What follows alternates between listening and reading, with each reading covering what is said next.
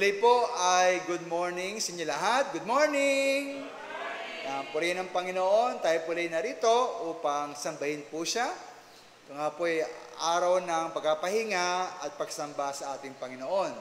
Welcome po man narito po, face to face po sa ating bahay sambahan sa Bethany Cubao, uh, Barangay Kaunlaran, Cubao, uh, Quezon City, Philippines. Welcome din po sa ating mga online viewers. Alam ko nariyan po kayo, kaya di kayo makita. At po sa, ang Panginoon na kahit na po malayo po tayong karoon ng fellowship po sa pagsamba sa ating Panginoon. Ating pong uh, tema ngayon ay, ayon po sa ating aralin, ipahayag ang ating mga kasalanan. So paano ba ang dapat natin gawin ukol sa kasalanan? Siyempre pa kailangan po yung pag-isihan. Pero ano ba yung sabihin ng magsisi sa kasalanan? At para Aralan po mamaya-maya sa ating pong pangalan salita ng Panginoon. Kaya tayo maghanda po sa ating pagsamba sa ating panangay umaga at bilang paghahanda at ipainggan po at panoorin ang ating handang prelude. Maraming salamat po.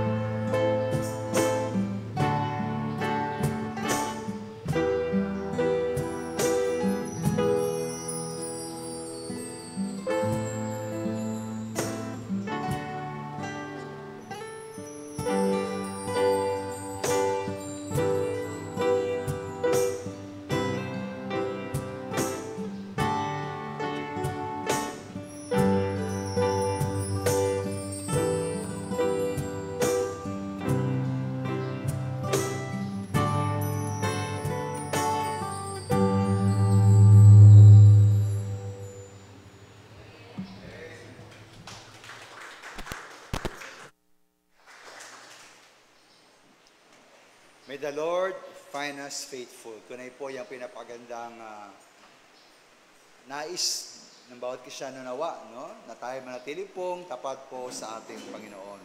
Tayo may lahat sa ating pong pagbasa ng salita ng Diyos.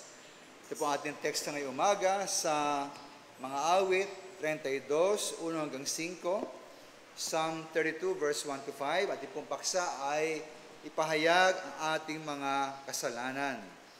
At ibasahin po ito ng salita, ako po ang verse 1, kayo ang verse 2, Hanggang sa verse 5 po, tayo po ay sabay-sabay. Mga awit, 32, 1 hanggang 5. Ako po muna po sa verse 1. Mapalad siyang pinatawad ng pagsalangsang na tinakpan ang kasalanan.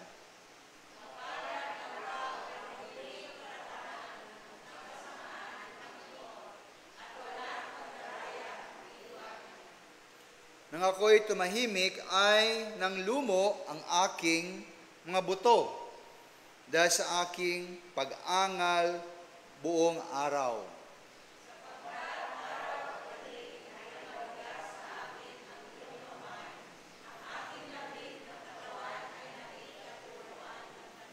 Sabay-sabay sa verse 5 po, Aking kinilala ang aking kasalanan sa iyo, at ang aking kasamaan ay hindi ko ikinubli.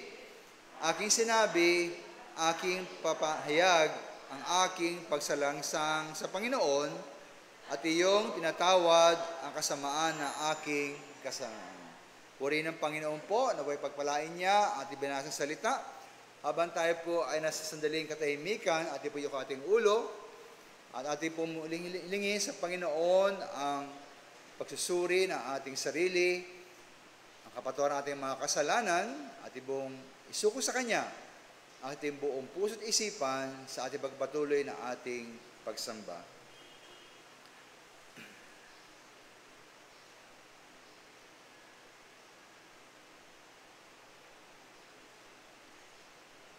Dakilang Diyos, maraming salamat po sa inyong biyaya at habag sa amin.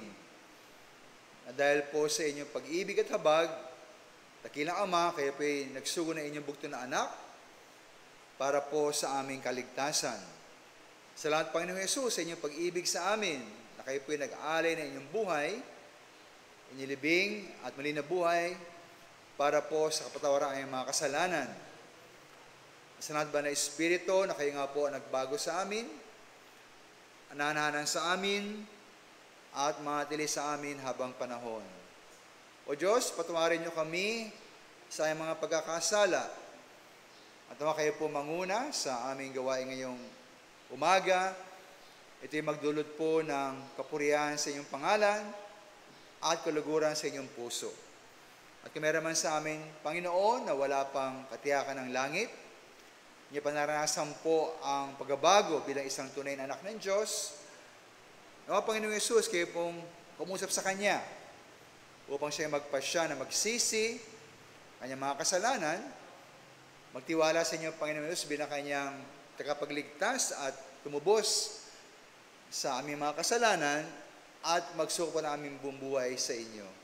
Salamat o Diyos sa umagang ito, naway busi sa amin yung masaganang pagkapala at kayo nga po ang kumilos at mapuri sa bawat bahagi ng gawain ito. Tandalain sa ni Cristo Jesus. Amen. Tayo po umawit sa ating Panginoon.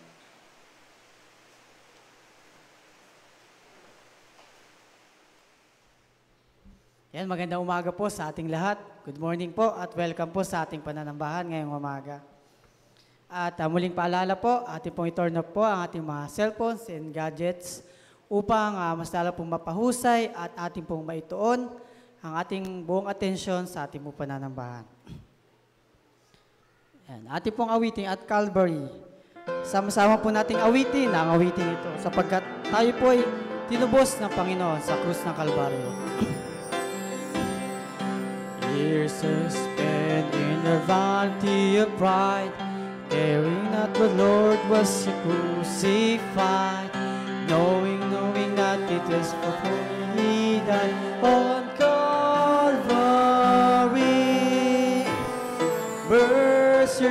was great and grace was free. Pardon there was multiplied to me. There my burdens on the liberty at Calvary. I God's first.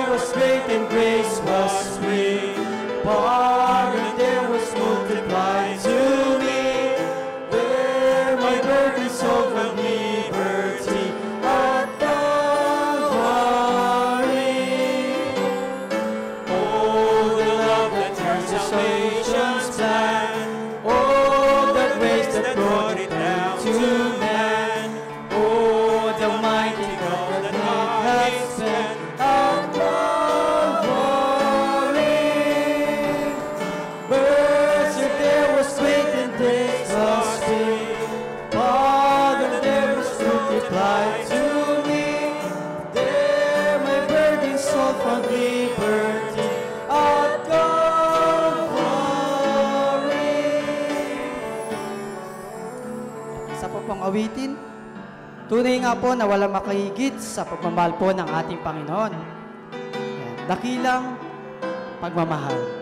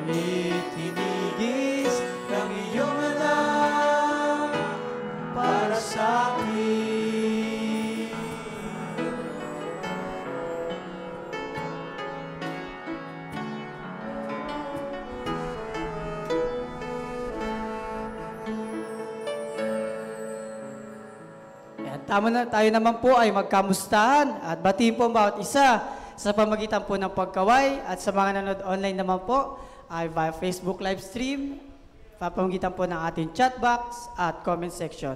Habang inaawit ang Since Jesus Came Into My Heart. What a wonderful change in my life has been done since Jesus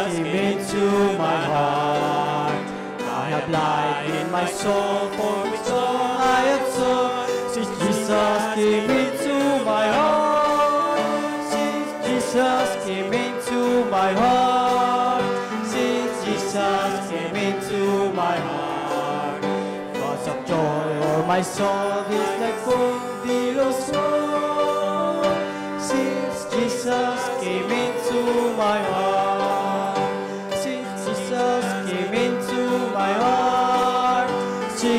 Jesus came into my heart. Floods of joy, oh my soul, and sea below snow. Since Jesus came into my heart. Amen po. Mari po tayo magsiyo po. Tayo naman po ay dakot na po sa ating po mga announcements.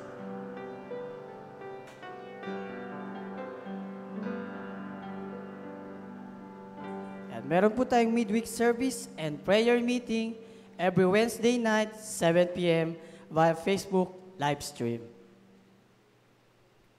Then para naman po sa ating susunod na tema, na may pamagat na ikaw ba ay isang encourager sa mga gawa 11, 19 to 26. At paalala naman po muli sa ating pong stewardship sleep commitment ay ating pong ito yung punan at mamaya po sa ushers, pwede po tayong humingi at pilapon po natin. At pagkatapos po ay ibigay po natin sa office or kaya po sa mga ushers.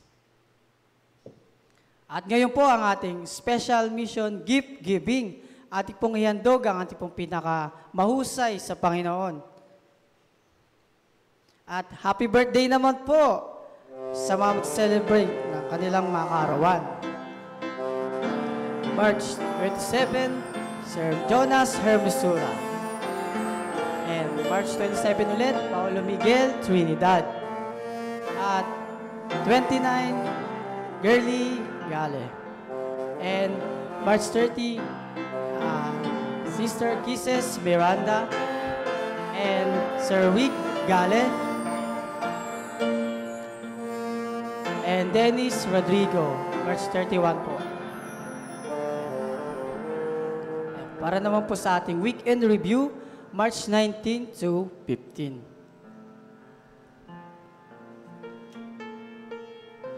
Ayan, meron po tayong Children Ministry, BK, BIC, face-to-face classes. Ayan. Sa pamunguna, sa pamunguna po ni Sir Timmy Chavez. At meron na din po tayong fellow, fellowship ministry at nagkaroon po silang fellowship ang mga ating po mga middle adult.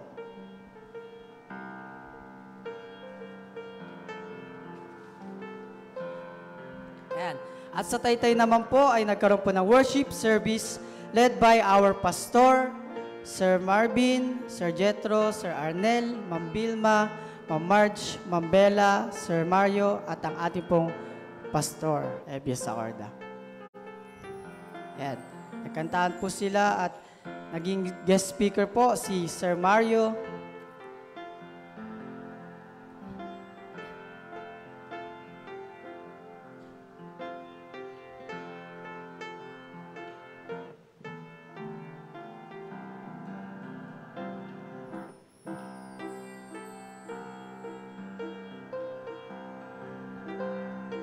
And ano yung aming watching service service. At sa Kamari naman po, eh, nagkaroon po tayo ng Bible study doon led by our po, our pastor po ulit. Kasama po si Ma'am Vivian, Ma'am Norma, Sir, ay, Sir Julia, Sir, ay, Sister Lois, Ma'am Liz, Ma'am Rosita, si, si Sister Yvonne, Sister Seth, and si Sir Melvin and Sir Mario. Yan. Purihin po ang Panginoon sa mga gawain na yan. Na po patuloy po tayong magpagamit sa ating pong gawain para po sa ikapupurihin po ng ating Panginoon.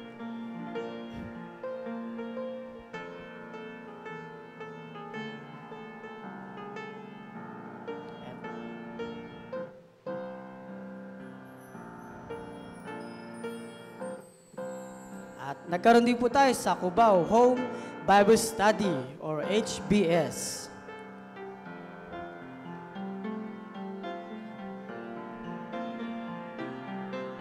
Praise God po. Sa mga po gusto pong nais ah, makiisa or gusto pong tumulong sa gawain, maaari lang po makipag-coordinate kay Ma'am Bibian or kay Ma'am Vilma.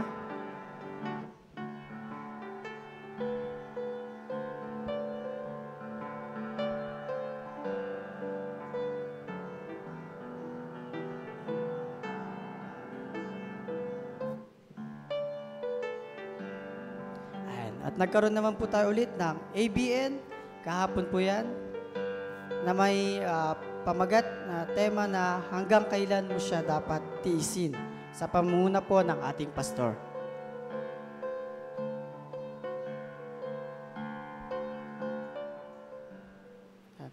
At para naman po sa mga karagdagan po, ating pong tunghayan ang natatanging video po.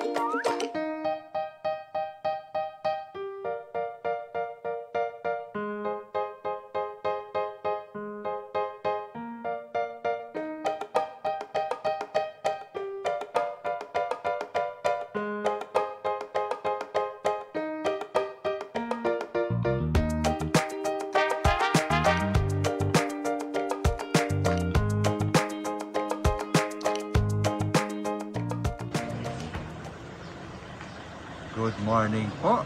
Ito po ang puno ni Chai dito sa aming bahay. Kita nyo, maraming mga bunga. Yan. Kaya lang, hindi po ba kami makadala ng marami sa church dahil sabi daw, eh, yung mga bunga, hinihingi ng kapitbahay. Kaya, nauna sila. Yan. Salamat sa Panginoon sa mga bayabas na ito. Salamat.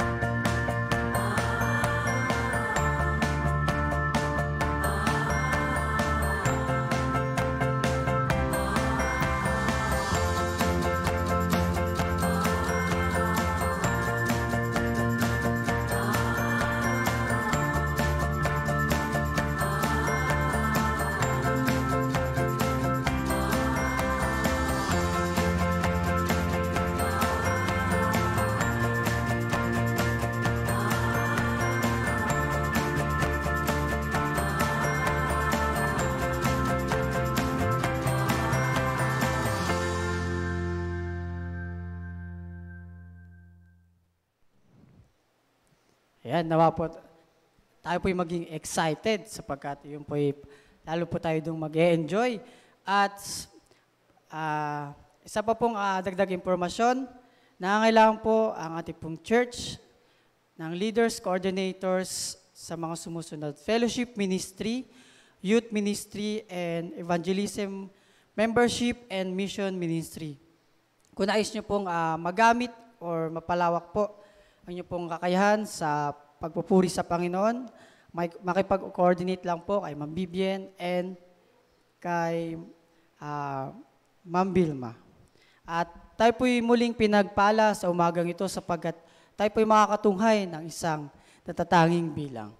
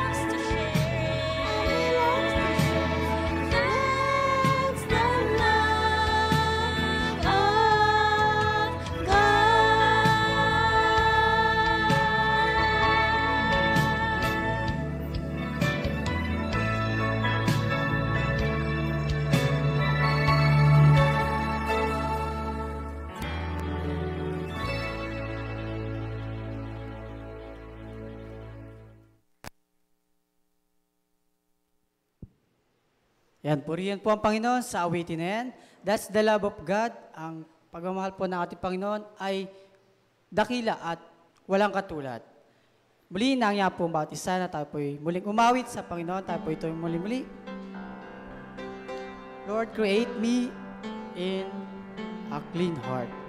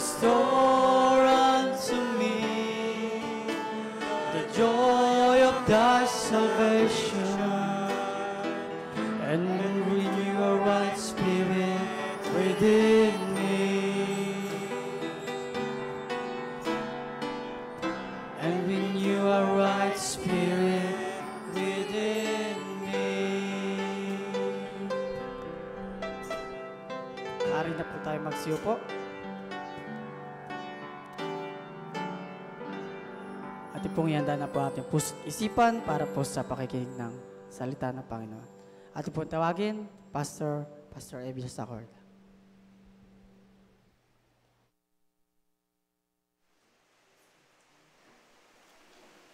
Muli po ay good morning sa inyo lahat. Good morning po. Isa nga pong pagkapala na tayo po narito upang sumamba sa ating Panginoon. At salamat po sa mga patuloy po na sumusuporta at tumutulong sa ating ah, gawain po sa Taytay Ministry. Yan, kahapon po yan doon kami sa Taytay. At thank you Sir Mario sa iyong ah, pagiging ah, speaker ng gawain doon. Sa mga tumulong, ang ganyan po sa ating pong Kamarin Ministry, thank you rin po sa mga tumutulong, yan sila Ma'am Vivian, at ang kanyang mga kasama. Kami po ay gumarap din ng Bible Fellowship, o Bible Study and Fellowship mo nung Friday.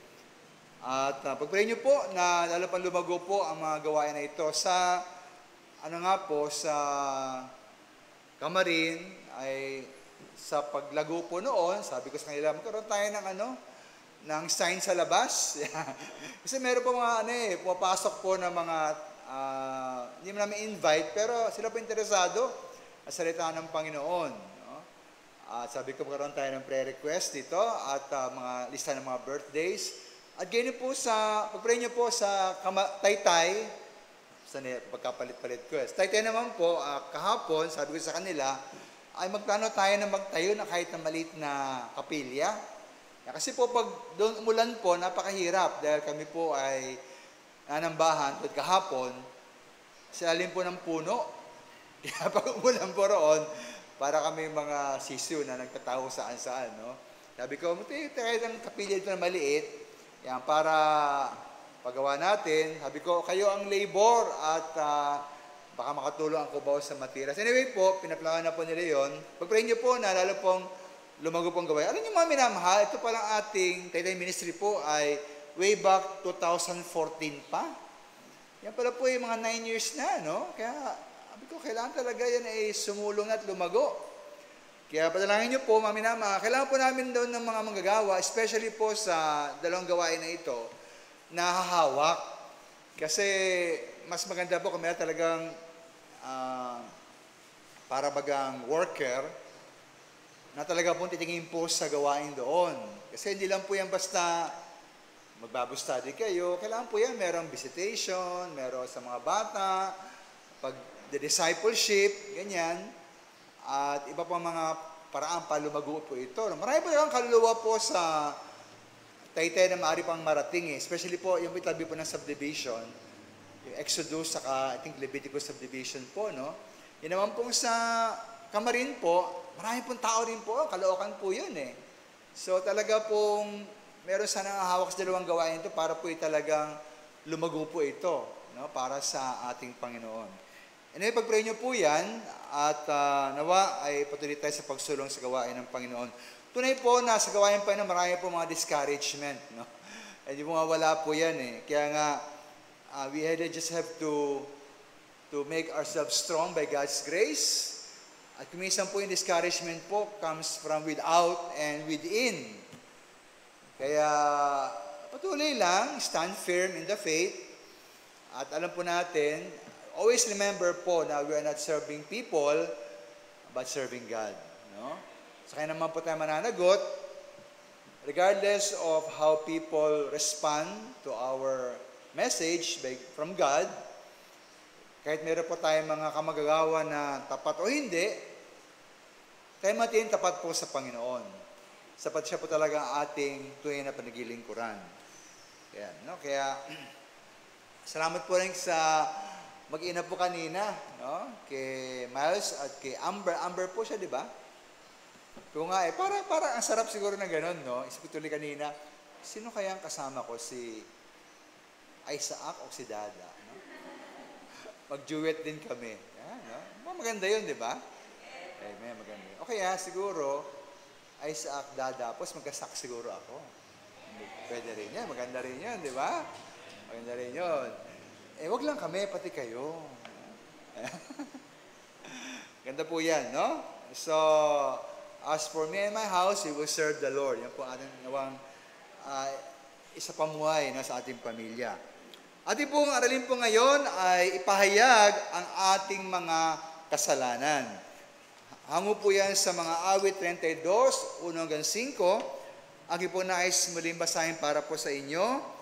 Psalm 32 verse 1 to 5. Sabi po sa verse 1, Mapalad siyang pinatawad ng pagsalangsang o kasalanan na tinakpan ang kasalanan.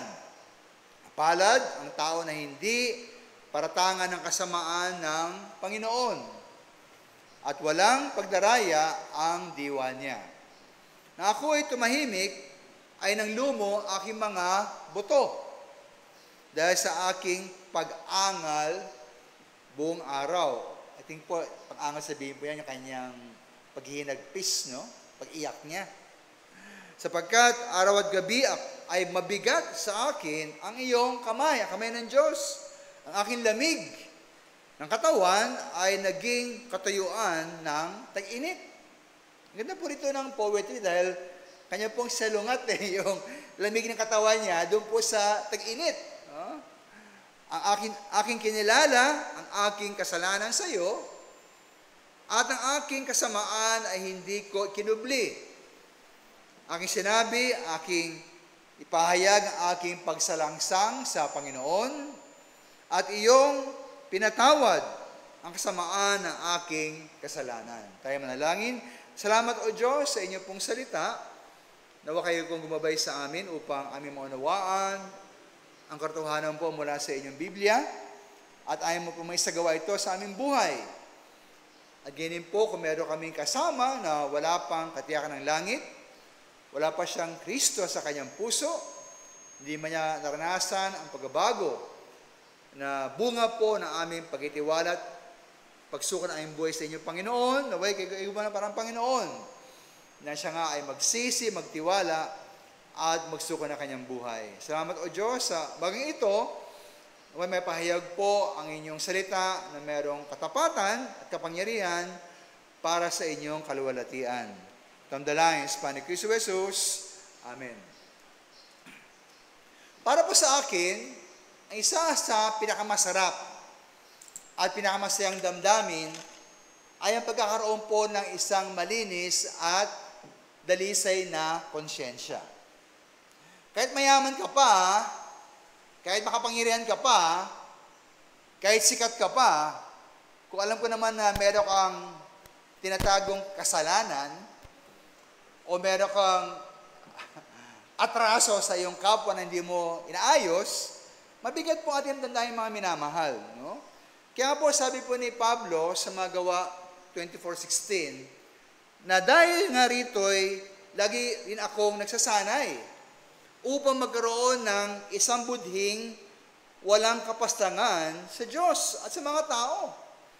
So always strive to have a clear conscience, sabi ni Pablo, toward God and toward men. Kaya napaganda po no, na kahit sinong kaharap mo, eh pwede mo siyang tingnan mata sa mata na wala kang atraso. Wala kang taong iniiwasan. No? Nung nga pong ah, last Sunday, kwento ko lang sa inyo, no? kwento ko sa kapon sa aming ABN, no? na pauwi po namin, o papunta pa lang sa aming ah, kainan, aking pong kotse po ay nabangga sa likod. Ah, Nabangga. Ah, pag-stop kasi, nag-red ako, siya naman, mamadali, nabangga po. Wasak po yung, yung wasak. Kayupi-yupi po yung bumper, basag yung tail, tail light sa likod. Siyempre, tail light sa likod yun. sa kaliwa po, no? Ah, pero God's grace po naayos na, dyan na naman siya. Huwag naman sana mabangga uli, kasi medyo mahal po, no? Pero mga alam nyo po, para sa akin, di bali na ako mabangga kaysa ako makabangga. No? Yung tao po na nakabangga sa akin, namin niya naman nakasalanan niya. Pero ang laking problema niya sapagkat kailangan niyang bayaran po bilang driver yung van na nawasak, na bumangga sa akin, pati po yung sa akin, no? Kaya yung kanya pong konsyensya, siguro ang bigat sa kanya, di po ba? Ako pinagawa ko na, wala na akong niisip, no? Bayaran o hindi, bahala ang Panginoon. Pero mamaya ganun po yan, no? Ang napakahirap po mga minamahal. Ang naka, akalungkot kung meron kayong dinadalang at tinatagong kasalanan. Napakahirap mga minamahal noon. Hindi kayo makaharap sa tao, may iniiwasan ka, meron kang laging dalang takot at pangamba. At higit po, naka, mahirap mga minamahal sa ating Diyos mismo. Alam mo na meron kayong hadlang na hindi maganda ang inyong fellowship. Pag meron po tayong tinatago at inaalaga ang kasalanan sa ating buhay. At hirap po niya maminamahal, daan po natin na kapag tayo po ay merong tinatawang kasalanan, hindi po titingin ng Diyos ang ating mga panalangin. No? Meron kayong ano eh, gap ng Panginoon. Nasabi nga sa Isaiah 59.2 na ang kasalanan po natin parang mistulang pader yan na naghiwalay sa atin sa Panginoon. Sabi po sa mga awit sa 16, 18, kung pinakundanganan ko ang kasamaan sa aking puso, hindi ako didinggin ng Panginoon. Kaya kung meron kayong pinag-pray na matagal na, no? Wala pa rin sagot, ito na may nais ng Panginoon. Kalaban niya naman to ah. Eh baka po ang dahilan ay meron tayong tinatagong kasalanan.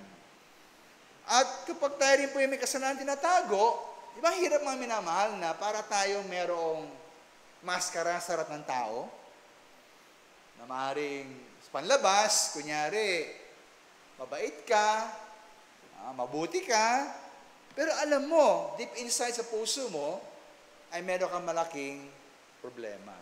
No? Yan po tawag na hindi ka authentic, hindi ka totoo. No? Kaya pa mga minamahal kung meron tayong pagsisisi.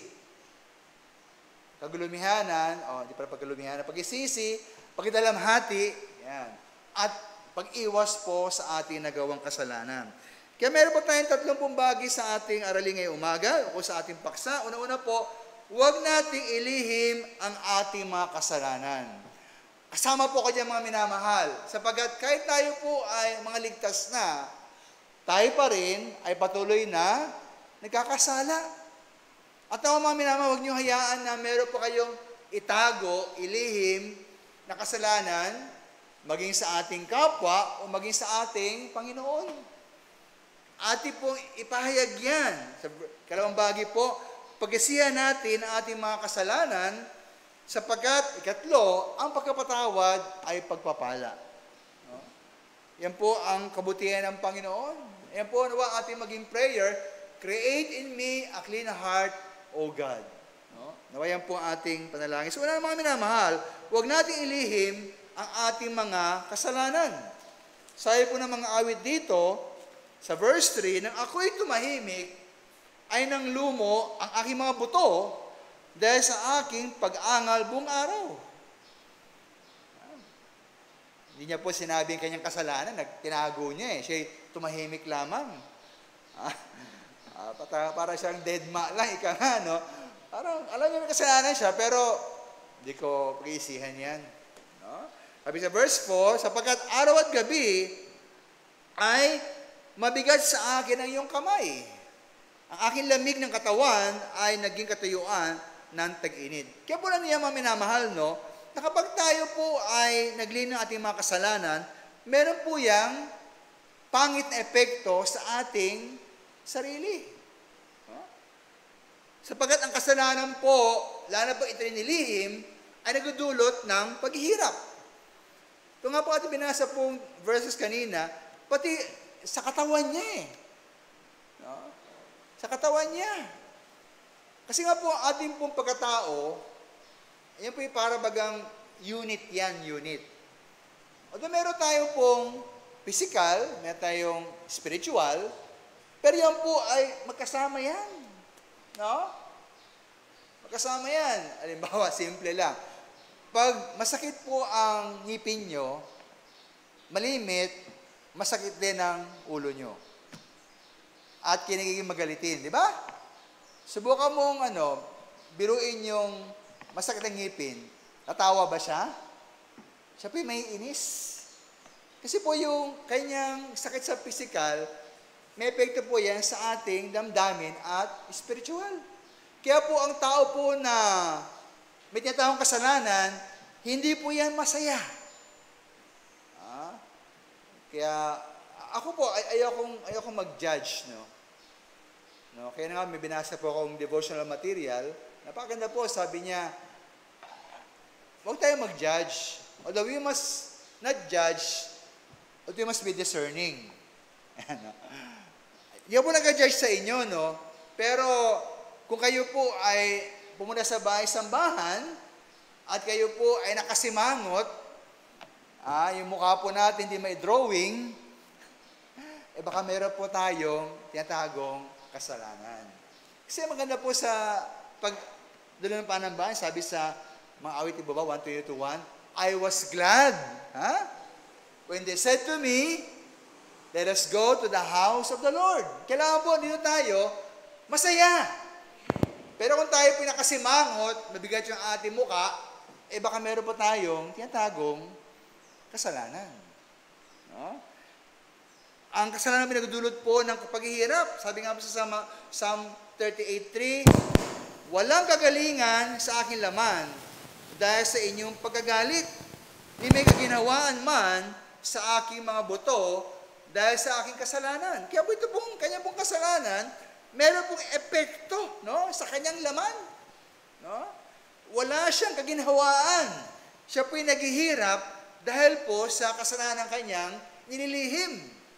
Sabi sa Psalm 31.10, sapagkat ang aking buhay ay napupugnaw sa kapanglawan at ang aking mga taon ay sa pagbubuntong hininga, ang aking lakas ay nangulupaypay dahil sa aking kasamaan at aking mga buto ay nangangatog. Yung mga minamahal, no?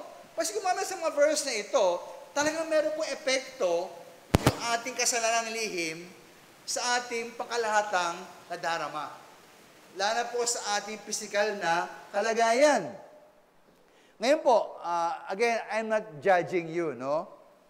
Pero, oh, kung meron tayong sakit mga minamahal, kung meron tayong sakit, parang may sakit ako, no? Parang, ano nyo yung, hindi maintindihan na, minsan may back pain, ah, minsan may backache, ah, minsan nangangatog yung, yung mga laman-laman mo, nanghihina ka, yan, no?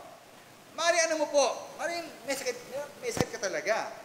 Magpa-doktor ka, magpagamot ka, minom ka ng gamot, at kung kailangan, kung seryoso na, magpa-hospital ka. Pero mga naman, kung halimbawa, ang tagal nyo nang nagpapagamot, ang tagal nyo nang uh, papadoktor, wala makitang ano, uh, sakit. No? Lungs, clear. Walang lungs. Hindi naman. May clear, ha? Yun namang heart mo, okay naman. Wala makita problema. O, yung mga organs niyo po, maganda naman. Di, Dok, parang ano eh, mas mapakita lagi ko nang hina eh. Eh, mami na mahal, baka yan po ay meron ng dahilang hindi physical. Kasi nga po, ating pong kalagay spiritual, o mental, o emotional, minsan po nakikita po yan, epekto niya sa ating katawan. No? Kaya, kung ibig nyo pong sumiglang katawan ninyo, alagaan nyo po ang inyong isip, ang ating puso, at ang ating kalagayang spiritual. Mani kayo po ay parang may sakit dahil lagi kayong balisa. Ha? O lagi kayong takot. O kayo po ay laging galit. Yan po, pag like kayo laging galit po, dahil epekto po yan sa inyong puso. At yan po ay dahilan daw ng ulcer. Ha? Kaya po yung mga, ano eh, sabi nila, oh, how true, yung mga abogado raw, eh, malimit po yan kakasakit sa puso at sa ulcer. Dahil yung mga abogado po ay laging galit daw. you know? Di man lagi, no? Sa korte. Ayan po. Misa po, yung mismong kalungkutan. Ayan. Dahilan po yan para, like, yung depressed po. Sakit po yung katawan ninyo dahil dyan. Ha? At, syempre, may epekto po ang ating lim na kasalanan sa ating pakiramdam. Yan, no? So, pag wala kayong makitang physical uh, origin o reason na inyong panghihina o sakit ng katawan nyo, baka yan po ay spiritual o mental, emotional, o meron po tayong tinatagong mga kasalanan. No? Kaya po, tulad nga po ni Pedro, no, na siya po yung nagkasala, Matthew 26:75, at nali Pedro, ang salilang sinabi ni Jesus, bago tumilaok ang manok, ay kakaila mo ako makaitlo. At siya ay lumabas at nanangis na mainam. Siya ba'y masaya? Hindi po. Dahil siya po ay nagkasala sa Panginoon. No? Eh, lalo na po si Judas.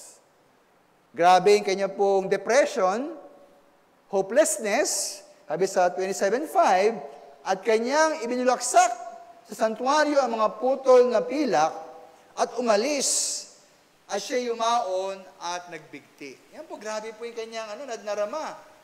No?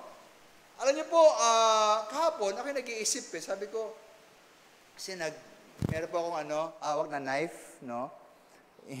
Ah, inaayos ko yung aking mga yellow pencils. Bilang, ano, meron po akong thought na naisip ko, sabi ko, ba't kaya ibang mga tao, yung knife kasi, no? Eh, di ba iba po nag-suicide? And what they do, what they do with their knife? Di ba nag-slash sila ng ano? Ng wrist, di po ba? Sabi ko, ba't kaya sila natatakot na gawin yun? Di ba masakit yun? Huwag niyo subukan, ha? Ah, huwag niyo subukan dahil yan po hindi, hindi tama. No? Pero, bakit ang ibang tao po, kaya nilang hiwain ang kanilang wrist pag sila po ay ah, ibig magpakamatay? Sabi ko, ah, alam ko na kung bakit.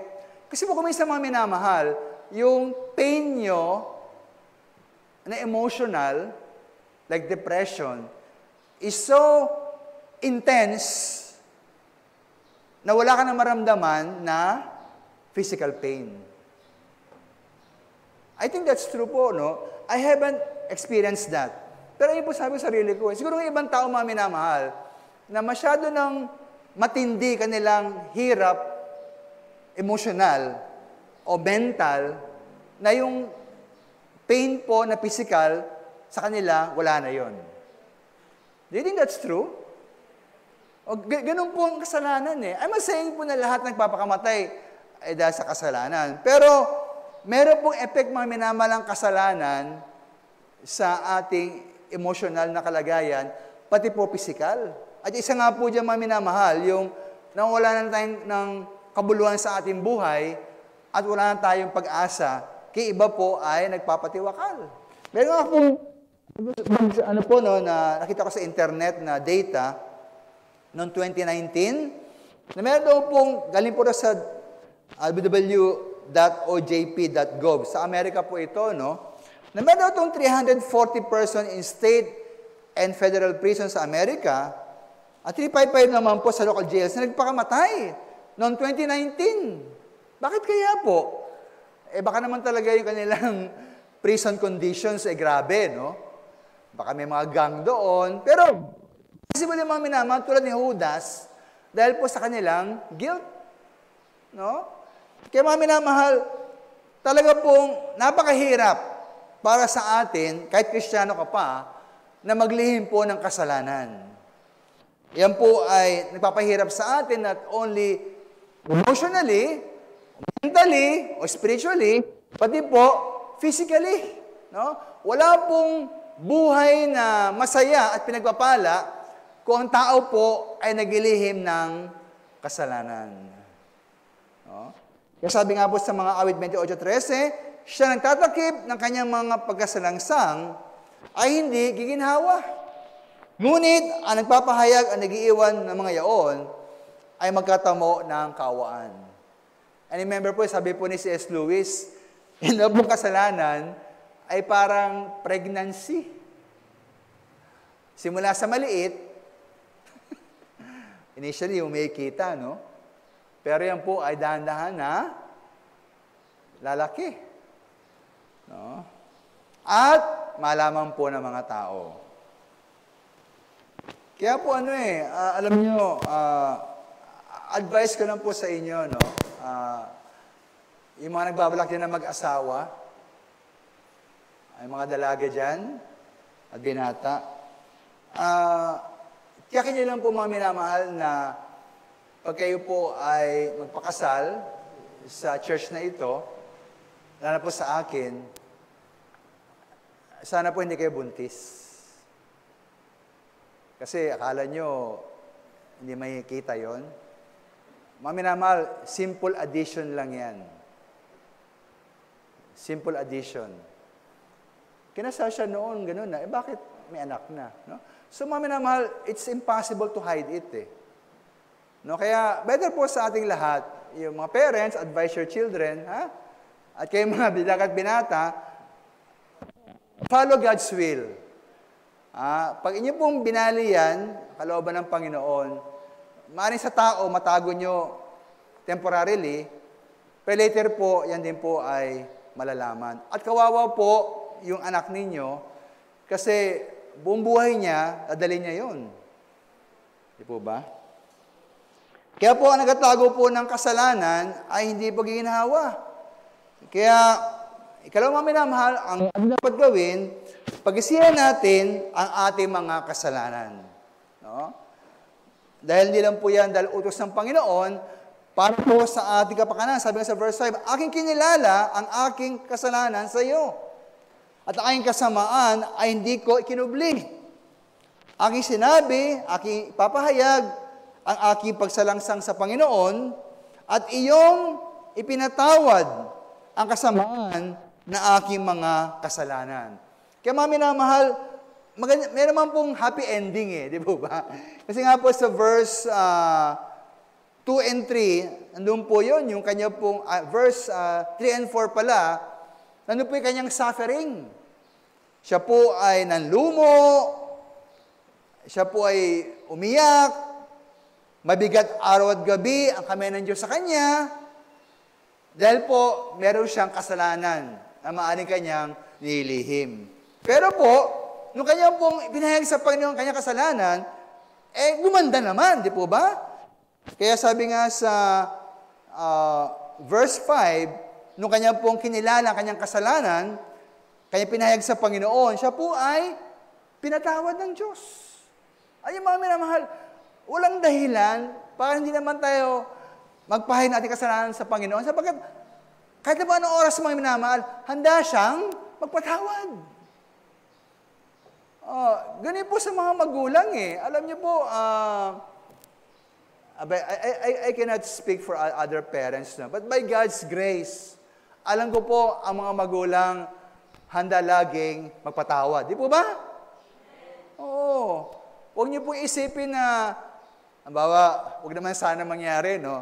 Kayo po yung nabuntis ng boyfriend ninyo. Aray ko po. Buhay na lang po, hindi mangyari kay Isaac yan. Na siya buntis na kanyang boyfriend. Kasi hindi man siya babae. Pero siguro po isa sa pinaka masaklap siguro mangyari, no? Yung dalaga mo inaalagaan. Oh, ba, ingat na ingat ka. Ayaw, ayaw mo dapuan ng langaw, labok, ah, tubi, paru-paro.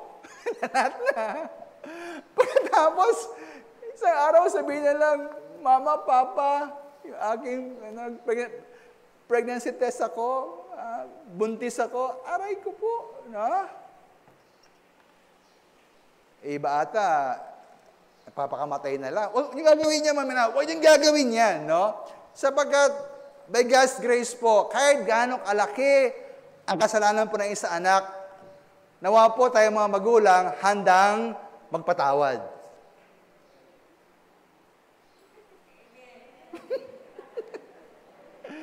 Pero mga anak naman, huwag niyo abusuin ang habag ng magulang sa inyo. Kasi, kahit kayo po'y pinatawad ng magulang, inyo pa rin aanihin yung bunga at epekto ng inyong kasalanan.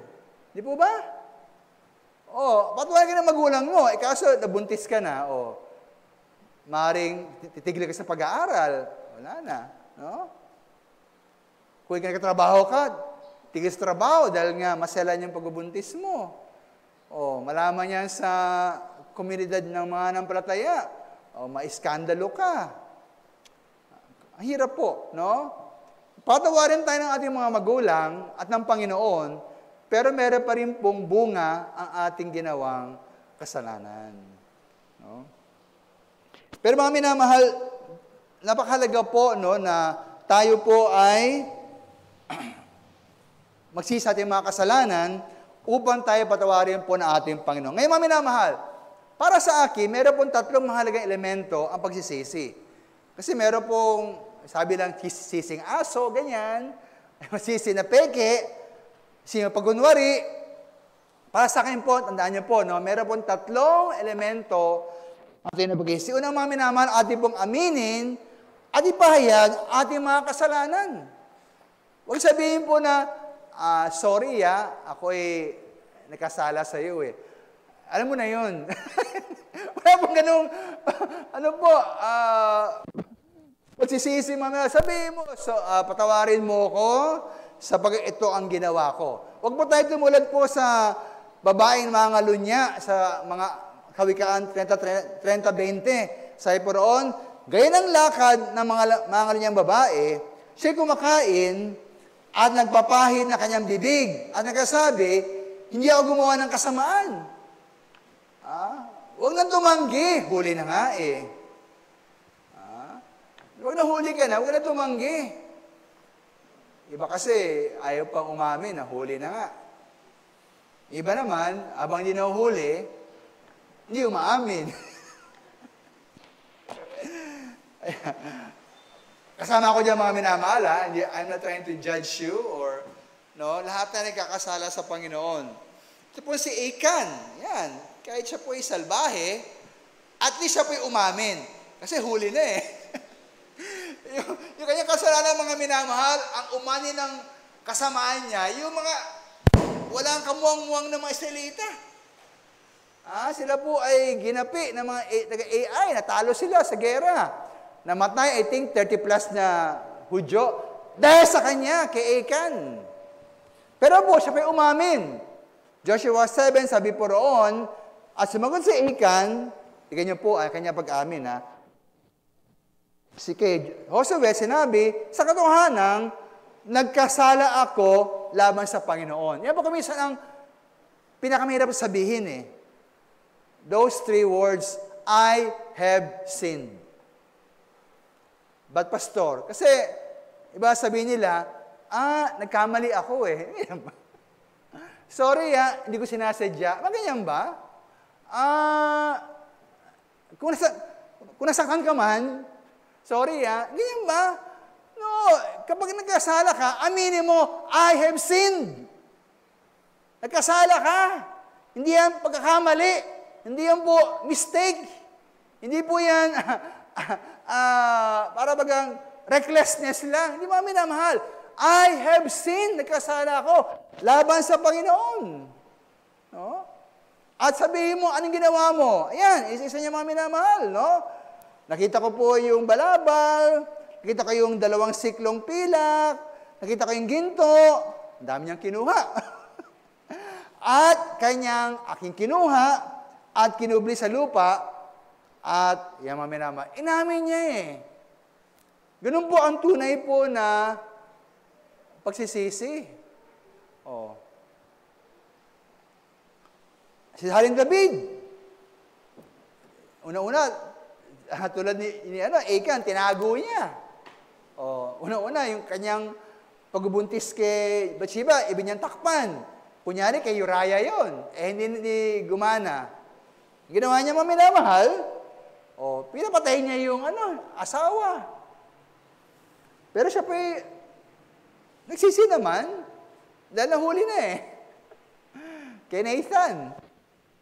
Sabi niya sa verse 13, 2 Samuel 12, Ako'y nagkasala laban sa Panginoon. I have sinned. No? Eh, mami na, ang hirap, kung sabihin natin yan, no? Marami tayong mga excuses, mga dahilan. But I think, mami na mahal, those are the three most important words probably we could say as sinners. I have sinned. And as long as you won't say it, you will never receive God's mercy and forgiveness. Ah. Mahirap sabihin talaga yon. Pero yun po ang tanging paraan upang tayo mapatawad ng Panginoon. I have sinned. Nagkasala ako. Psalm 51.3, sabi po roon, sapagkat kinilala ko ang aking mga pagsalangsang. At aking kasalanan ay laging nasa harap ko. No? Maliban po tayo umamin and say, I have sinned, we would never receive God's forgiveness. Naan niyo po yan. No? Sabi nga ni Spurgeon, there is mercy for a sinner, but there is no mercy for the man who will not own himself a sinner. No? So kailangan po tayong maging honest eh. No? Let's be honest with God, with others, and with ourselves. No? Ngayon po, hindi ko sinasabi mga minamahal na kailangan yung i-announce sa church yung inyong mga kasalanan. Yung sabi na kanya i-post niya sa Facebook para malaman ng mundo. Hindi mga minamahal, no? Pero yan po amin natin, lalo na sa ating Panginoon. Huwag tayong magtago sa Kanya sapagkat every time po nagkakasala tayo, alam niya yan eh. It's, it's useless to hide our sins from God. Alam po ng Panginoon yan. Pero habang hindi tayo umaamin, hindi tayo mapatawad. Di po ba? No? Merong habag para sa isang makasalanan, ngunit walang habag para sa isang taong hindi umaamin bilang kasalanan. No? Mahal na mahal tayo ng Panginoon mga minamahal, na ibig niyang tayo po ay umamin para matanggap natin ang kanyang kapatawaran. Kaya wag na tayo mag-atubili. No? God is always ready to forgive us as long as we are sincerely repentant.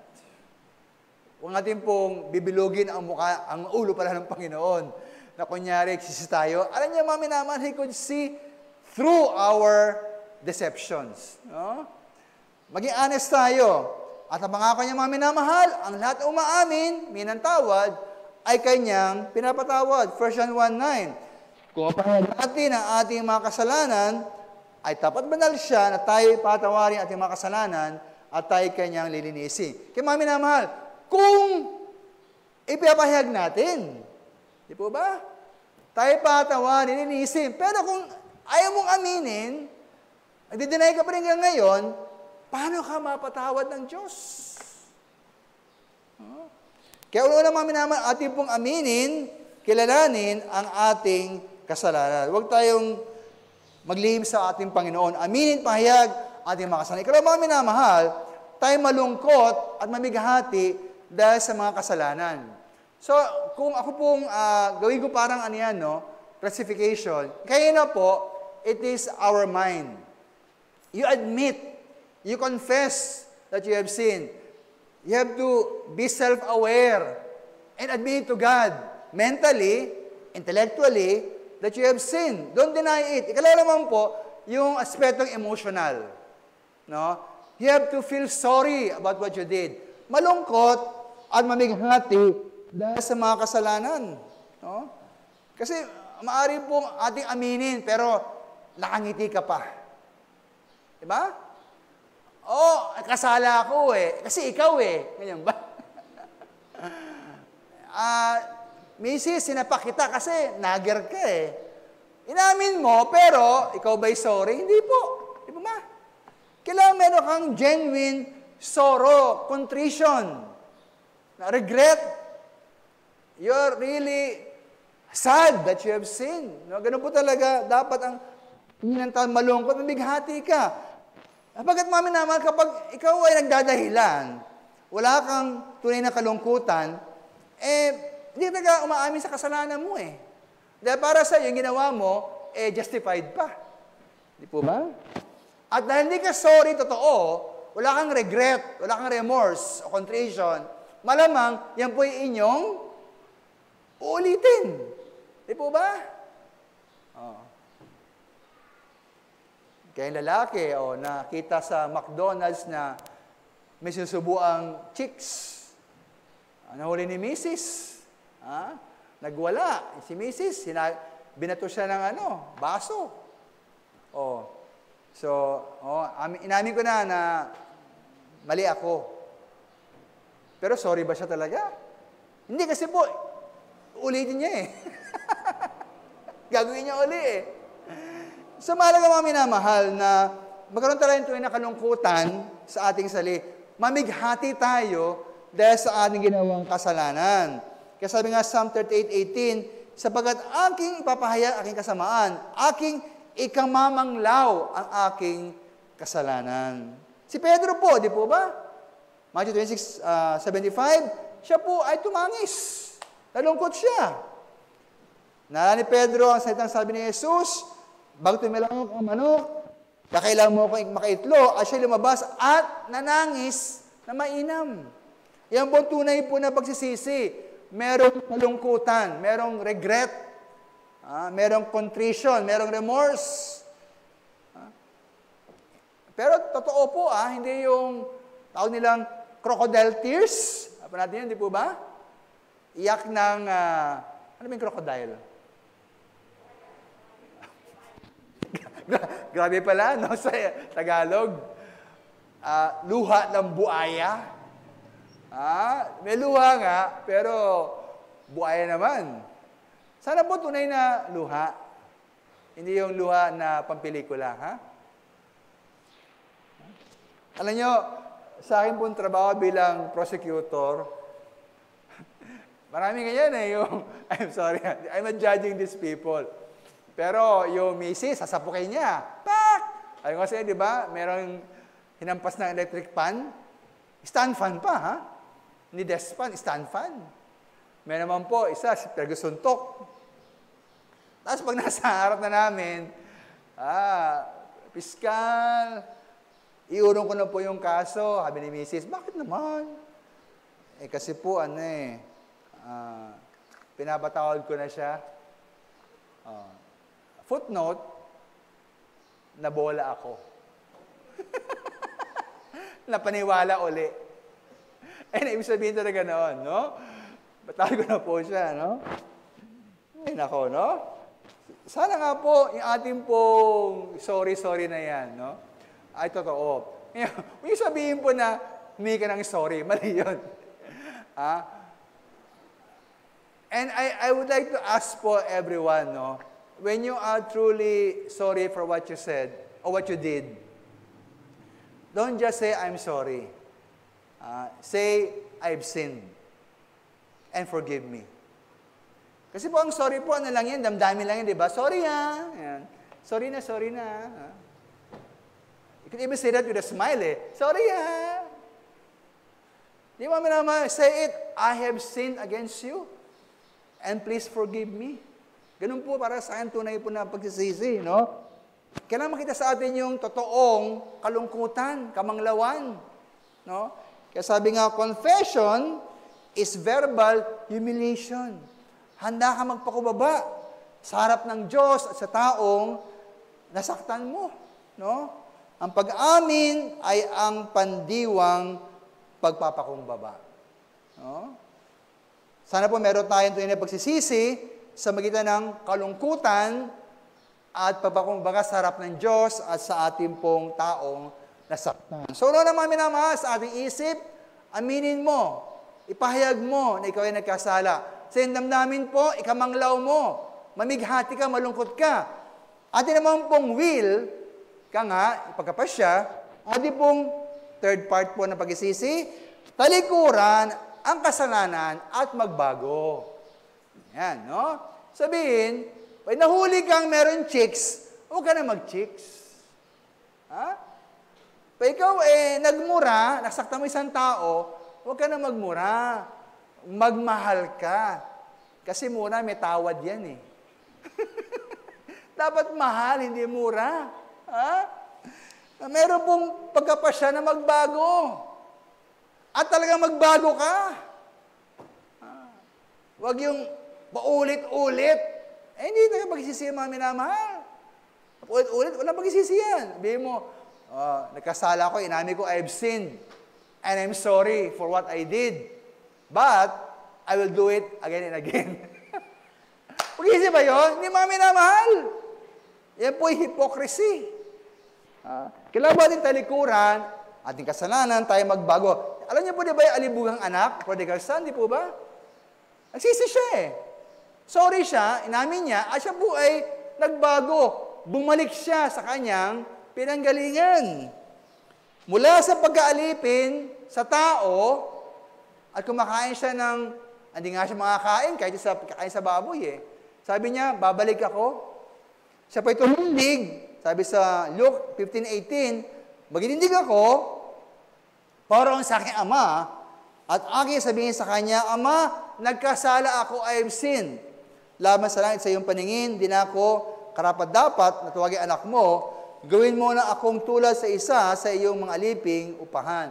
Kaya mami na mahal, nagbago siya mula sa pumuhay kasama ng mga baboy, patungo sa pumuhay kasama na kanya nagmamahal na ama. Ganun po ang pagisisi. Meron laging pagbabago. No? Kapon po yung aming discussion sa ang Biblia ngayon, maganda eh, no? Ayoko lang i-press yung issue eh. Pero alam ko mahirap gawin talaga. Yung asawa mo, mister, no? Iniwan kayo, nagbabae, nagsugal, nagbisyo, o, tapos pinahirapan kang itaguyod sarili mo, paghihirap, ikasakit-sakit ka, dahil yung mga anak mo, pinapalaki mo mag-isa ka. Pagkatapos, tumayong panahon, sila naging matagumpay, ikaw naman, eh, matan, mukhang matanda ka na, dahil nga sa hirap sa papalaki ng mga anak, biglang babalik yung mister mo. Ha? Hingi ng tawad. At kung pwede rin magbalikan kayo. Siya po ba niya tatanggapin o hindi? Ha? Ma'am Ami, tanggapin mo ba? Hindi.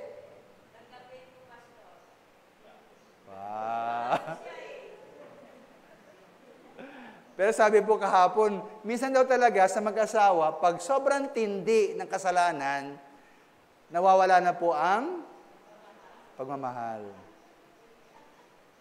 Wala na eh. Pinatay mo na ang aking puso. Di ba? Bakit ka mamahalin? Eh, namatay na ang puso ko sa iyo. At para sa akin, matagal ka ng patay. Ha? Mahirap tayo mga minamahal, no? So, I leave it to you. But the point is, mga minamahal, pag tayo pinagsisi, dapat, amin natin natin sa kasalanan, mamighati, we feel sorry about it, and change. Kailangan may pagbabago. At kung maani po, merong pagkapanumbalik, reconciliation. Pero mahirap eh, di ba? Ha? Siyempre, pag alam mo yung ta- lalaking yon eh, kumbaga sa po eh, forgive me for the term ha, binaboy kayo, pati kanyang sarili, binaboy niya sarili niya, pa- pa- hahawakan ka nun. Eh kung sino ng babae ng, ang nakasama niya, bilang, hawakan ka, Ma'am Ami. Ay, sorry po, kayari lang ha. Di ba? Mandidiri ka sa kanya. Oh, alam ko naman si Sir, si Sir ano eh, Renato, tapat yan. Tapat yan sa kanyang katapat.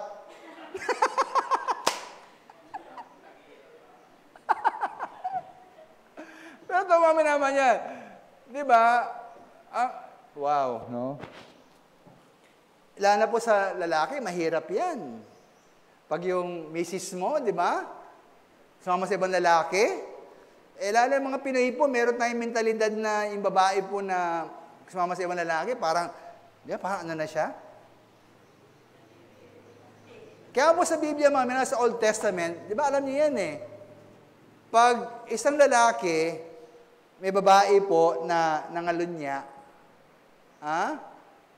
Sa Biblia po, sa Old Testament, bumalik siya, no way. Hindi siya pwede magsama. Kasi po ano na siya eh. Damaged goods na, ika nga. Well, ngayon po yung New Testament, I don't know, no. Pero, mahirap talaga, mahirap. So, kakahapon nga po sa ating ABN, ayoko i-press yung issues dahil pag alam ko napakahirap yun eh. And I'm not a woman, no. Pero, sa Biblia mga minamahal talaga, napakahalaga, na kapag meron pong tuloy na pagkapatawad, adisikapin na meron ding reconciliation. Kung maaari by God's grace. Ah, siguro, si Mrs., patawarin niya yung mister niya na naging salbahe, pero yung dati nilang sweetness, ha, dati nilang intimacy, emotional, spiritual, even physical, siguro mahirap ibalik yun eh. Di po ba? Mahirap eh. Anyway po, basta mahalaga po rito, meron pagbabago. Sabi nga po sa Kalawang Timoteo 2.22, Ito po at layuan mo ang masamang pita ng kabinataan. At sundin mo ang kabanalan, ang panampalataya, ang pag-ibig, ang kapayapaan, kasama ng mga istawag sa Panginoon mula sa pusong malinis. Meron pong pagbabago. Merong paglayo sa kasalanan. Yan po ang tunay na pagisisi. Kailangan makita po ang bunga ng pagisisi. Sabi nga ni John the Baptist, po ba? Bear fruit that befits repentance. No, laging po merong bunga dapat ang pagisisi. Kung wala pong bunga, malamang walang ugat. Kung walang bunga, malamang yung puno, patay. Di po ba? Patay ang pagisisi. Wala tayong pagisisi po. Walang bunga eh. Kaya nga po sa Biblia, give examples po, no? Ephesians 4.25, kung dati kang sinungaling, dapat hindi na sinungaling. Magsabi ka na ng, ano, katotohanan. Kung ikaw ay sinungaling, magsisi ka kunyari, pero ganun ka pa rin magsinungaling, eh wala pong pag talaga yan. Kailangan, lumipat ka mula sa pagsinungaling patungo sa katotohanan. Tuwing na pagsisisi, ang magnanakaw, o dati magnanakaw ka, Ephesians 4.28. Tapos ngayon, wala, wala na magnanakaw, magtrabaho ka na. E pagkabago, para dati kang kumukuha, ikaw na ngayon ang mag bibigay sa nangailangan. Ganun po habi sa Biblia.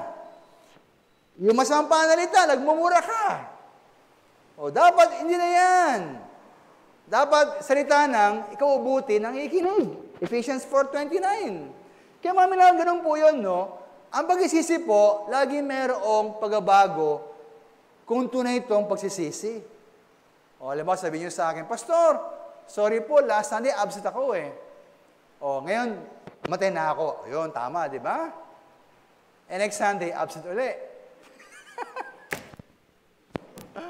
ah, nagsisi ba yun?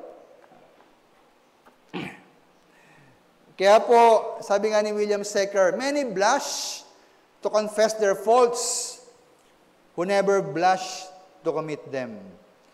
So, may mga tao po na nahihiyang ano eh, uh, umingi ng tawad.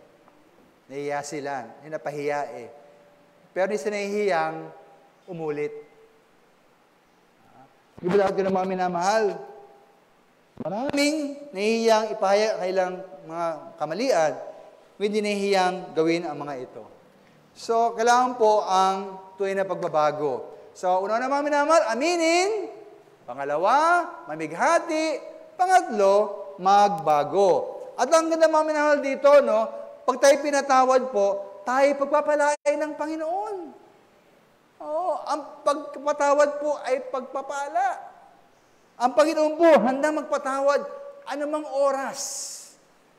Wala po siyang office hours. Ako po sa aking trabaho bilang piskal, pag nag-text yung mga ah, complainant ng Saturday, Sunday, hindi ko pinapansin eh. Eh, bakit, di ba? Friday, ay, Saturday, Sunday, ano yan eh? Para yan sa Panginoon. O, para yan sa pamilya. O, pag nag-text sila ng beyond 5 o'clock, hindi ko pinapansin. Bukas kayo mag, mag, mag-text. Hindi na office hours ngayon. Pero mga minamahal sa Panginoon po, 24-7. Ha? Anumang oras, anumang araw, walang holidays, ang pagkabatawad ng ating Panginoon. Tayo lang po ang dapat lumapit sa Kanya, umamin, mamighati, at magpasyang magbago para tayo patawarin po ng ating Panginoon. Ayan po yung blessing, sabi sa verse 5. Aking kinilala, aking kasalanan sa iyo, at ang aking kasamaan, ay hindi ko kinubli. Aking sinabi, aking papahayag, aking pagsalangsang sa Panginoon, at iyong pinatawad ang kasamaan na aking mga kasalanan. No? Kaya nga po sabi sa verse, verse 1, mapalad ka eh. Mapalad siyang pinatawad ng pagsalangsang. Sabi sa verse 2, mapalad ang tao na hindi paratangan ng kasamaan ng Diyos. Kaya, kahit kayo po yung mayaman, no? Kahit marami kayong pera, kahit kayo po yung sikat, kahit mataas yung posisyon niyo po sa gobyerno o sa inyong korporasyon, iba pa rin po ang blessing na tayo po patawarin ng Diyos. Ako, di ba, na akong siguro pinakamahirap sa mundong ito, basta ang aking pong puso at konsyensya ay malinis sa Panginoon. Di ba? Kaysa naman, congressman ka, senator ka, ha? gobernador ka, marami ka namang kabulukan at tinatago sa iyong puso. Hindi ka rin masaya. Hindi ka rin masaya. No? Hindi tayo maaari makatago po sa Panginoon. Magtago tayo na may tayong mga dahilan. Eh, pastor, kasi ano, ganyan-ganyan eh. Ah? Hindi ko na kailangan mag-specific, no? Pero, ano man pong ating kalagayan ngayon, kung alam po natin na hindi yun tama sa harap ng Diyos, huwag na tayo magdahilan. Atin lang aminin, mamighati, at magbago. Kasi po hindi na natin mari pong lokohin ng Diyos eh. Hindi po siya maloloko. Ang kanya pong katotohanan, hindi nagbabago yan. God's standards remain forever. Wala po tayong exempt, exemption sa Panginoon. Hindi kasi ganyan-ganyan eh. Well, you may convince yourself, but you never convince God. No? Ang gagawin mo minamahal, ibig niya pagpalain, tayo po ay tawad sa Panginoon, magsisi, umamin, mamighati, at magbago. Isa pong blessing po sa mga Kristiyano na tayo pinatawad na po ng ating Panginoon sa ating mga kasalanan. Kaya, kung kayo po ay nagsisi na sa inyong mga kasalanan, nagtiwala kay Kristo, nagsuko ng inyong buhay sa Kanya, ikaw po ay tunay ng Kristiyano, anak ng Diyos. Ikaw ay pinatawad na ng Panginoon. Hindi po dahil sa ating mabuting gawa, kundi po dahil sa ginawa ni Kristo para sa atin. Yan, sa Calvary po, at Calvary. Yes, I've spent in vanity and pride. No? Pero tayo pinatawad ng Panginoon dahil po sa kanyang ginawa sa Kalbaryo. Sa may ikalawang Korinto 5.19, ang Diyos kay Kristo ay pinakipagkasundo ang salibunan sa Kanya rin na hindi na binibilang sa kanila ang kanilang mga kasalanan. Kaya blessing po yung mga minamahal, no? Kung kayo po ay minantawad sa Panginoon, nagsisi na, at nagtiwala kay Kristo bilang yung tagapagligtas, at nagsuko po ng yung buhay sa Kanya, nariyan po ang blessing. Tayo po'y sarap ng Diyos ay malinis na. Matuwid na. Dahil po sa ginawa ni Kristo para sa atin. Tayo po ay hindi na hatulan ng Diyos. No? Sa Romans 8.1, Ngayon nga'y wala nang anumang hatol naman na kay Kristo Jesus. No? Pero mga minamahal, mahalaga pa rin na tayo po ay nagkasala ay umamin tayo, mamigahati at magbago sapagkat ating pong kasalanan sa Panginoon tinatago, yan po ay may epekto sa ating fellowship sa Panginoon. Hindi man nababago yung ating relationship bilang anak ng Diyos, pero ating pong fellowship, eh may harang. Kaya nga po, sabi ko sa inyo kanina, ang inyong mga panalangin ay hindi dinigin ng Diyos kung meron tayong lihim na kasalanan. No? Pero yan po ang blessing mga minamahal. Praise God. No? Purihin ang Panginoon dahil sa kanyang kapatawaran sa atin. Ang ganda po sa Biblia, yung mga larawan po niya sa Isaiah 1.18, sabi roon, ang inyong mga kasalanan ay maging tila mapula, ay maging maputi na parang niebe, parang snow. Maging mapulang gaya ng matingkad na pula, ay magiging parang balahibo ng bagong paligong tupa. Kaya pag tayo po ay minantawad kay Kristo, nagtiwala sa Kanya, nagsuko ng ating buhay kay Jesus, ang ating kasalanan po ay binura ng Panginoon na parang snow na yan, malambot. Ay, malambot. Maputi. Yan, no? Tayong kasalanan. Isang magandang larawan po yung ating kasalanan ay para bagang hinagis na sa dagat. Doon na po yan sa Marianas Trench. Napakalalim po na bahagi ng dagat. Malapit po yan sa may Mindanao, no? Wala nang maaaring kumuha roon. Napakalalim eh. Sabi sa Micah 7.19, Siya'y muling magataglay ng habag sa atin, kanyang yayapakan ang ating kasamaan, at kanyang iahagis ang lahat nilang kasalanan sa mga kalaliman ng dagat. No? So yan po yung mga blessing po ng kapatawaran. No? Yung pula naging puti, puti-puti. Kasalanan po doon na sa lalim ng dagat. At kailanman po, hindi tayo maaring sumbatan ng Panginoon dahil sa ating mga kasalanan. Isaiah 43.25, Ako, ako nga ay siyang pumapawi ng iyong kapagsalangsang, alang-alang sa akin, at di ko alahanin ang iyong mga kasalanan. Kaya mga minamahal, ano pong ang hamon po sa atin ngayong umaga bilang pagwawakas? Una po, ating po tiyakin na tayo pinatawad na ng Panginoon. No? Tayo mag-isip po sa ating mga kasalanan, mamighati tayo at tayo magpasyang tumalikod sa ating mga kasalanan. Tayo magtiwala kay Kristo bilang ating tagapagligtas at nagbayad ng ating mga kasalanan. Ating pong isuko ang ating buhay kay Jesus, kilala siya bilang Panginoon at Hari ng ating buhay. At ang makita po ang pagbabago sa ating buhay. At kung tayo man yung magkasala, muli, bilang Kristiyano na, bilang anak ng Diyos, para po wag po maapekto ng ating fellowship sa Panginoon, lagi po tayong umamin. Huwag tayong magtago ng ating mga kasalanan. Huwag tayong magdahilan. Amin yan sa Panginoon, Lord, I have sinned. At tayo magkaroon po ng tunay na pamimighati, kalungkutan, at tayo magpasya po na magbago. Kaya maminamahal, ang Diyos po ay handang magpatawad sa atin anumang oras, anumang araw, sa bawat pagsisisi, merong laging pagkapatawad mula sa Panginoon. Lalo na pag ikaw ay anak ng Diyos. Ngayon may sabihin mo, hindi pastor, ano naman eh, ah, ako naman eh, naglilingkod sa Panginoon eh. Yan, kung minsan po nakakatakot yan. No?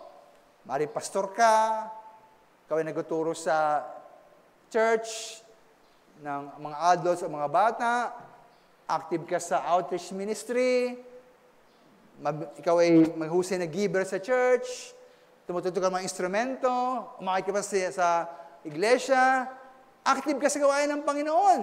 Kaya lang, meron kang tinatagong kasalanan. Ano po ba yung mga minama? Yan ba yung maaring matakpan?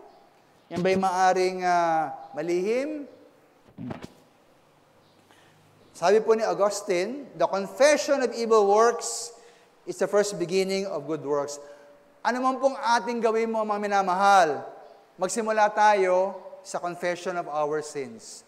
Ang pagpapahayag ng mga samang gawain ay ang unang simula ng mabubuting gawain. Maring active ka sa gawain ng Panginoon, ngunit sa nawa gawin mo ang pinakamalagang gawain. Tayo magsisi sa ating mga kasalanan. No? Bali, wala mga minamahal eh. Para sa akin, yung kahit tayo maglingkod po sa Panginoon. Kasi nga po, yung, ang problema dyan, mas mahalaga po sa Panginoon ang gumagawa kaysa ginagawa. No? Nawa tayo po yung maglingkod na merong malinis at dalisay na puso sa harap po ng ating Diyos. Tayo po ito maying lahat.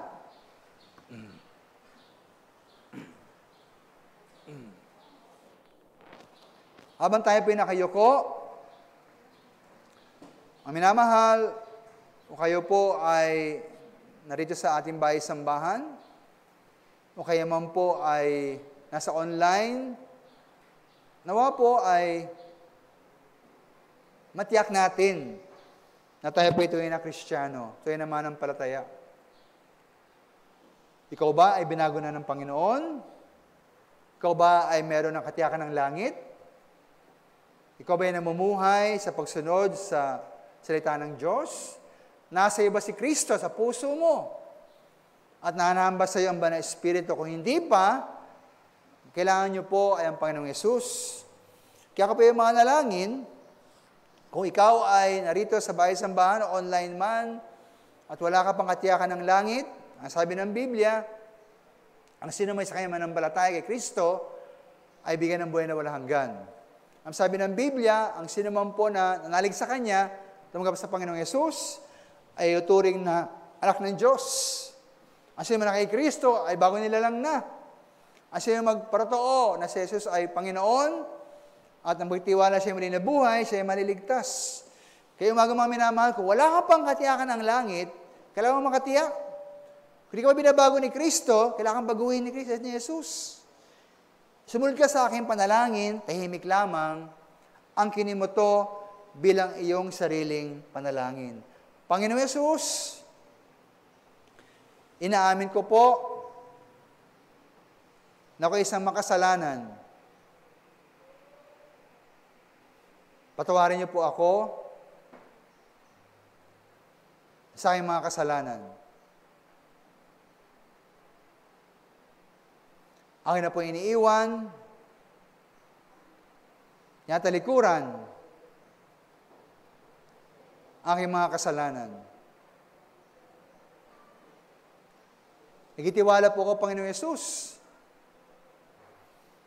na yung kamatayan, pagkalibing, at muling pagkabuhay, ay sapat na kabayaran na aking mga kasalanan.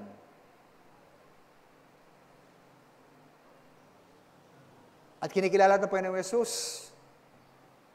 Natanggap kita bilang tagapagligtas at nagbayad na aking mga kasalanan. Akin na po sinusuko sa inyo, Panginoong Yesus. Aking buong buhay. Pumasok kayo sa aking puso at kayo na maghari na aking buhay. Kinikilala kita, Panginoong Yesus. Natanggap kita bilang tagapagligtas, Panginoon, at hari na aking buhay. Tulungan niyo po akong sumunod sa mga utos at mamuhay ayon sa inyong kalooban. Salamat, Panginoon, sa kaligtasan binigay niyo sa akin. Kung kayo po ay tunay na nalangin, nagsisi, nagtiwala, at nagsuko na inyong buhay sa Panginoong Yesus, ang kanyang pong pangako, kayo po baguhin niya, at magkaroon kayo ng katiyakan ng buhay na walang hanggan. Kayo po ay tunay na anak ng Diyos, tunay na born again, tunay na Kristiyano. At para po sa rin mga Kristiyano na, ang panawagan po ngayong umaga, napakasimple lamang mga minamahal. Nawa ko meron tayong tinatagong kasalanan, kinikimkim na kasalanan sa ating puso, sa ating buhay. Nawa maging tapat tayo sa panahon. Let us, let's be honest with God. Hindi tayo maaaring maglihim habang panahon. Humingi tayo ng tawad sa Panginoon at ipahig sa Kanya ang ating mga kasalanan. At mamighati tayo at magpasya tayo magbago. At yun na pong iwan ating mga kasalanan at gawin natin kung ano ang kalooban ng Diyos. Iwan ang mali, gawin ang tama. Umaring sabihin niyo, Pastor, wala man akong tinatawang kasalanan, wala akong lim na kasalanan. Purihin ang Panginoon. Pero ang aking pong hiling sa inyo, hamon sa inyo, maring wala kang alam na kasalanan at nililihim, pero nawa ngayong umaga, still, mag-commit ka sa Panginoon. All of us, mga minamahal, let us commit to the Lord. If you know you have no hidden sin, praise God for that. But I would like to ask all of you to make a commitment na magkaroon ka ng pagtalaga sa iyong sarili at pangako sa Panginoon, make this promise na tuwing tayo po ay magkakasala, ating aminin sa Panginoon, we will be sorry for it, at ating pong iiwan na yon at tayo magbabago. Mga minamahal, we have to always keep our hearts clean. Huwag niyo hayaan na merong kasalanan dyan na manahan. So I'd like to ask you for a commitment. All of you, kasama po ako mga minamahal. All those even online. Commit to the Lord this morning. Panginoon, tuwing ako yung magkakasala, I commit, number one, to admit I've sinned. I will say, Lord, I've sinned. Number two, to be sorry for what you did. And number three, to change. Iwan ang kasalanan at gawin ang tama, magbago. Can you do that? Can you do that by coming in front? Tayo sa harapan ng mga tayo sa Panginoon. Kung meron kang hidden sin, hingong tawad sa Panginoon. Kung wala man, that's good. But I like to challenge you, join me in making a commitment to the Lord. Panginoon, I promise, Lord, I commit na tuwing ako'y magkakasala, aking aminin ako'y nagkasala, ako'y malulungkot sa kasalanan ginawa ko, at magkapasyang iwan na yon at magbago. Ayan po ang paraan upang lagi pong manatiling malinis ang ating budhi, ating konsyensya, at laging magandang ating fellowship sa ating Panginoon. Would you make that commitment, Christian? If you're a Christian, maganda po yan. Pero where did you commit to always keep your heart pure before God? Panginoon, nangako ako. And join, the, and join us here in front. Do that by kneeling down before the Lord. Lord, I promise by your grace, every time I sin, I would admit it, ask for your forgiveness, I will feel sorry for it, and I will leave it behind, leave it behind, and change. Nawa, ayun po ating commitment ngayong umaga sa ating Panginoon.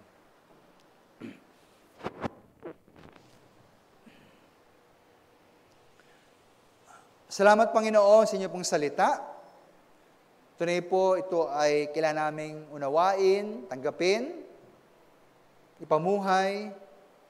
O Panginoon, kami po ay makasalanan. Salamat po sa inyong pagilinis sa amin, sa magitan niyong kamatayan, Panginoon Yesus. Ngunit kami rin po rin kakasala pa rin, Panginoon. And by your grace, sa inyong biyaya, kami po ay magisikap sa inyong biyaya na umiwas sa mga kasalanan. Kung kami man po ay magkasala, kami po ay buong sikap din na aamin po sa aming mga kasalanan. Maging malungkot, mamighari sa aming mga ginawang kasalanan, ang kapasya kayong Panginoon, you would decide, you would commit na amin pong iwan, iwasan na ang masama at gawin lamang ang mabuti. Panginoon, we can only do this by your grace and by your mercy. Nawa po, bilang mga Kristiyano, umuwi kami ng may kabanalan sa magitan ng palagiang paghingi po ng tawad sa inyo at magpasyang pagbabago na lumakad na sa liwanag ayon po sa inyo nais. Pagpalain niyo, Panginoon, ang mga narin sa harapan, gini po sa kailangang mga upuan, kailangang tatayuan, nawa po, lagi kaming mamuhay na may kabanalan. May pagkanais man lumakad sa inyo, inyong harapan, na may dalisay na puso, at sa liwanag po ng inyong katotohanan. Ito ang dalangin sa Panig Kristo Jesus. Amen. Maraming salamat po. Purihin ang Panginoon. Tayo pinadako po sa ating uh, pagibigayan. Ayon po sa ikalawang Korinto, 8, 2 at 3. By the way po, meron po tayong dalawang bahagi po sa ating pagibigayan. Kung pwede po ilagay na po sa harap yung ating pong uh, uh, mission gift giving. Uh, marahil po siguro, ano, no, ating laging remind ating mga kapatiran ukol sa monthly mission gift giving. Kasi baka atin nililimutan. Ako, nalimutan ko mismo eh. Hindi ko naalala na, ba, last na din na pala ngayon, no? So, siguro kailangan tayo mapalahanan palagi. Kaya meron po tayong dalawa pong bahagi ng ating giving. Una-una po yung ating regular giving, ating tithes and offering. Kaya ikot po ating ushers para ibigay po yung ating giving envelopes. Lagay niyo po doon ang inyong uh, regular giving, tithes and offering. Mamaya po ating po hulog po sa ating offering bag. Pangalawa po, pagkatapos po noon, kayo po isa sana pumunta sa harapan, ibigay po sa ating uh, basket dito ating mission gift giving. Special gift po yan para sa ating mga missionaries and pastors sa darating po natin missions conference sa December na ito. Okay po, sabi po sa ating teksto sa ikalang Korinto 8, uh, 2 at 3, 2 Corinthians 8, 2 and 3, kung paanong sa maraming pagsubok, sa kabigatian, ang kasaganaan ng kanilang katuwaan at ang kanilang malabis na karukaan ay sumagana sa kayamanan ng kanilang kagandahang loob. Sapagkat ayon sa kanilang kaya, ay nagproto ako at higit pa sa kanilang kaya, ay nagsiabuloy sila sa sariling kalooban. Nawa nga po, meron po tayong kagalakan sa Panginoon upang tayo po'y umapaw sa kabutihang loob, kagandahang loob, sa pagibigay po sa kanyang gawain. Maraming salamat po.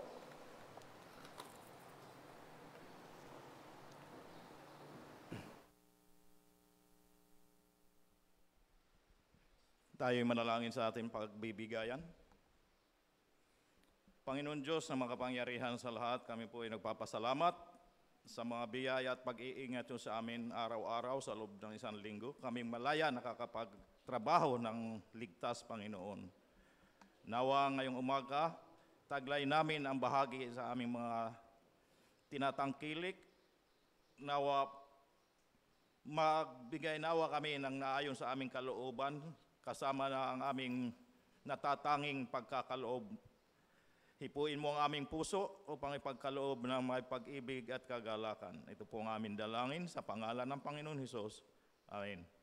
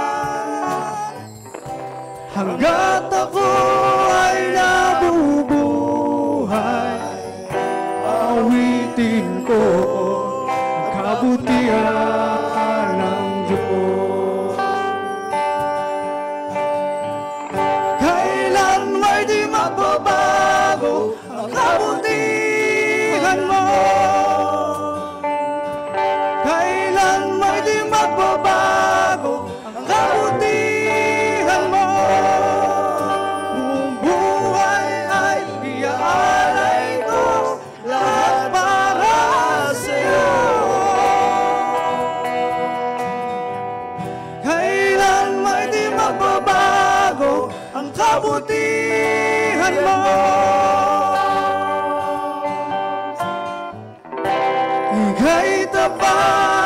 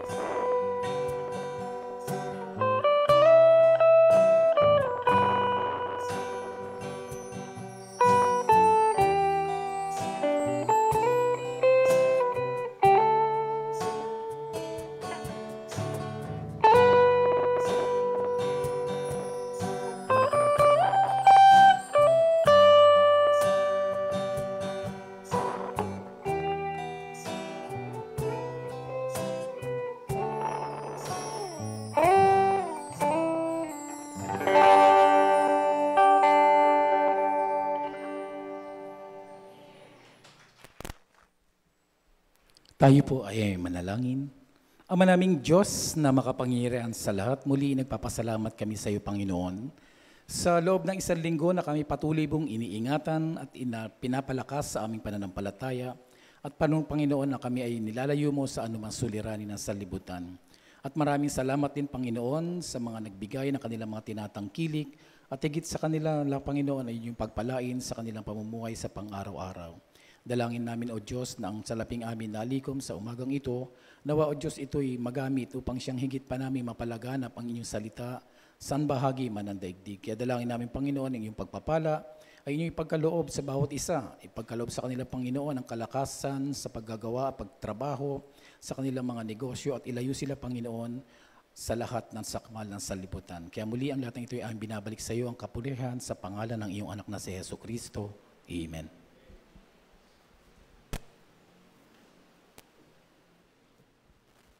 Ayan, muli na yan pong bawat isa na tayo po'y tumayo at tayo po'y muling umawit. Ating pong awitin ang kabutihan at pagmamahal po ng Panginoon sa atin na tayo po'y pinatawad at tayo po'y kanyang niligtas. Ito pong awitin, Sinner Saved by Grace.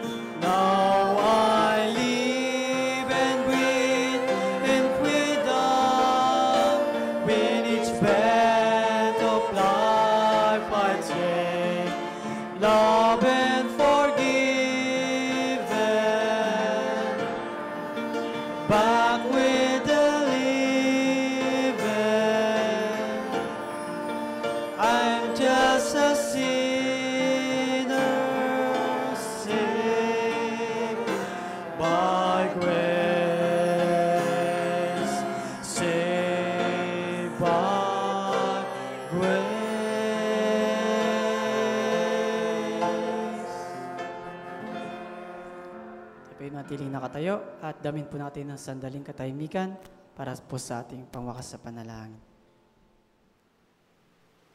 Tayo po'y magpasalamat sa natapos natin banal na gawain. Tunay nga, Panginoon, na kami nagpapasalamat at muli kami ay natipon para po kayo ay mapuri sa Espiritu at katotohanan. Batid niyo po, Panginoon, na ang bawat isa na nilalaman ng aming puso, tunay nga na ito'y may batik sa inyong harapan. Ngunit sa pamamagitan na kayo aming pinagkatiwalaan at binigyan kami ng pagkakataon, Panginoon, na kami lumapit sa inyo upang patawarin, Panginoon, ang aming mga kasalanan. Tunay nga, anuman ang suma, Muwabagabag sa aming puso na kami ay lumakad na may hadlang para po sa inyo. Nawa na po kami ay inyong linisin. Mula sa mga oras na ito, Panginoon, lumakad kami na may kapayapaan sa bahay-sambahan na ito. Tunay nga, Panginoon, maraming salamat na patuloy kayo nagpo-provide ng mga taong gumagawa para po kayo mabigyan ng kapurihan. Mula po sa mga tumutugtog ng instrumento, gayon din po sa mga nagpaawit, gayon din po, Panginoon, sa aming pastor na siya naghahayag ng inyong banal na salita upang mapakain ang aming espiritong pananampalataya, Panginoon. Tunay nga na siya ay inyong pagpalain, ingatan palagi, lalo na't higit sa kanyang trabaho, Panginoon, nawa, lagi niya siyang poprotektahan, na mailayo, lalo higit sa anuman sakit at kapahamakan, Panginoon. Gayon din po ang kanyang sambayanan, Panginoon. At tunay nga na pinapasalamatan ko po, Panginoon, sa umagang ito ang mga nagsidalo upang kayo ay mapurihan sa umagang ito. At sa pansamantala po namin pag hihiwalay, nawa na daling kami na may kapayapaan sa aming tahanan. Tunay nga na patuloy na maghari ang inyong pag-ibig at kapayapaan. Maraming pong salamat muli sa tanging pangalan ni Jesus. Amen.